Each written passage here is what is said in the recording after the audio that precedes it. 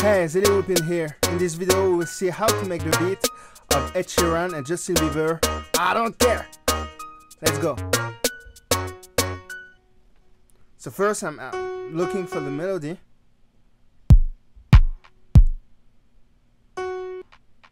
Then, you know, I'm looking for the rhythm. It's like a Jamaican rhythm, a little like work, work, work, work, work of uh, Rihanna. The same vibe, it's the same style.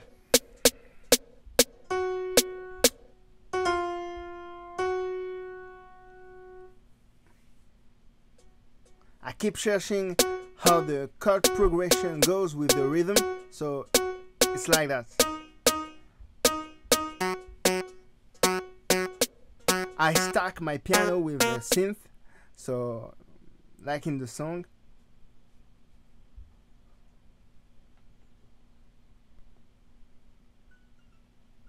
I add the second piano, like in the song. It's like that.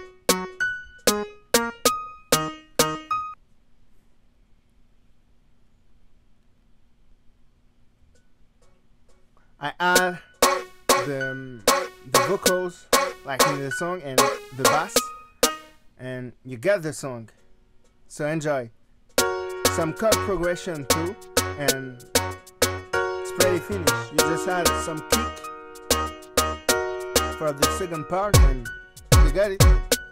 See? you